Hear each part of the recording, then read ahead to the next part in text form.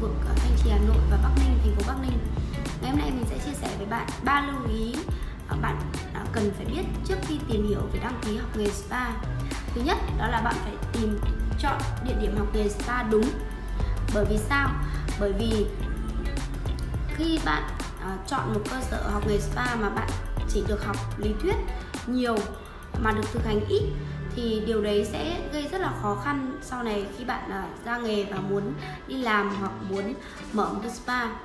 Chính vì vậy uh, thường những người học spa mà tìm hiểu kỹ và những người học spa uh, chuyên môn sâu họ thường không đi tìm một cái trung tâm đào tạo uh, sơ sài mà thường họ tìm đến những cơ sở spa thực tế đông khách để họ được trực tiếp nhìn những ca uh, điều trị nám điều trị mụn thực tế và được trực tiếp thực hành nhiều ở trên uh, mẫu rồi trên khách hàng thực tế.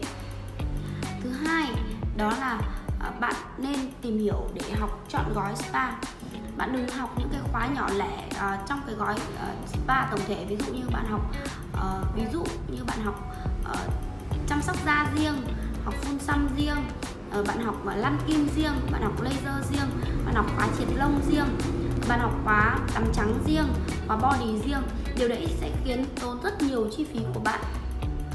Tôi ví dụ một ví dụ điển hình như ở thẩm mỹ viện Bích Nguyệt thì nếu như bạn học gói triệt lông không đã là 20 triệu gói chăm sóc da không là 40 triệu rồi gói uh, phun xăm thẩm mỹ 26 triệu. Tổng hợp nếu như bạn cứ học lần lượt từng khóa như thế nó sẽ rơi vào một vài trăm triệu là chuyện bình thường. Chính vì vậy bạn nên chọn chọn những cơ sở uy tín và học chọn gói cái khóa học của họ. Chọn gói cái khóa học của họ luôn cả về cái ngành spa ví dụ như uh, bao gồm cả chăm sóc da cả triệt lông cả tắm trắng cả body vân vân. Đó. Thứ ba bạn cần phải lưu ý đó là uh, bạn phải uh, khi mà học nghề spa thì bắt buộc uh, bạn phải yêu nghề phải đam mê và thật là kiên trì cần cù. Bởi vì mọi người hình dung nếu như bạn học uh, đại học để biết được một cái nghề nào đó ít nhất bạn phải mất 4 đến 5 năm.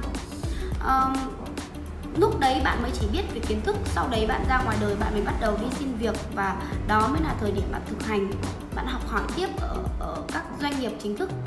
Thế thì lý do gì tại sao bạn đi học nghề spa bạn nghĩ rằng là một tháng có thể biết nghề? Học nghề spa uh, khi mà các bạn đam mê thì thời gian học nó sẽ rút ngắn lại rất nhanh. Nhưng nó yêu cầu các bạn cần phải thật là chăm chỉ cần cần cù. Bởi vì học thì không khó bởi vì uh, cái việc đấy là nó dạy theo kiểu là uh, truyền dạy theo kiểu là uh, kỹ năng nhiều kiến thức uh, cao siêu thì không có mấy không không phải là không phải là quá khó.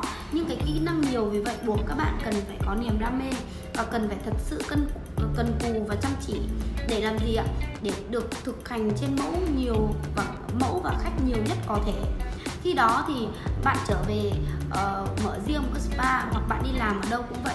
Thì uh, người ta cũng nói một một uh, tôi đọc trong một cuốn sách uh, 20 giờ làm việc liên tục thì có nói là cách bạn làm uh, khi bạn muốn học được cái nghề nào đấy thì việc bạn làm thường xuyên bạn làm nhiều nhất có thể khi bạn bạn có một cái kỹ muốn đạt được một kỹ năng nào đấy thì bạn phải làm nó liên tục trên một nghìn lần.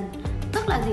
Mọi người uh, đi chọn những cơ sở mà mà chỉ được thực hành có một mẫu hoặc ba mẫu sau đó bạn tốt nghiệp thì nó rất là khó. Nhưng nếu như bạn cùng một cái kỹ năng đó ví dụ như kỹ năng lăn, lăn kim trong spa mà bạn được thực hành trên 100 khách 1000 khách thì lúc đó nó sẽ là kỹ năng của bạn. Thì bạn sẽ rất là cứng tay nghề và bạn sẽ tự tin khi bước vào nghề. Đó thì trên đây là ba kỹ năng ba việc cần lưu ý về học nghề spa trước khi bạn tìm hiểu để đăng ký. Ờ, mình tổng kết lại cho bạn. Thứ nhất đó là phải chọn địa điểm là đúng uy tín. Thứ hai là nên học chọn gói để tránh ờ, để tiết kiệm chi phí. Thứ ba đó là phải kiên trì và cần cù trong việc thực hành thực hành ờ, các cái kỹ năng trong việc học spa.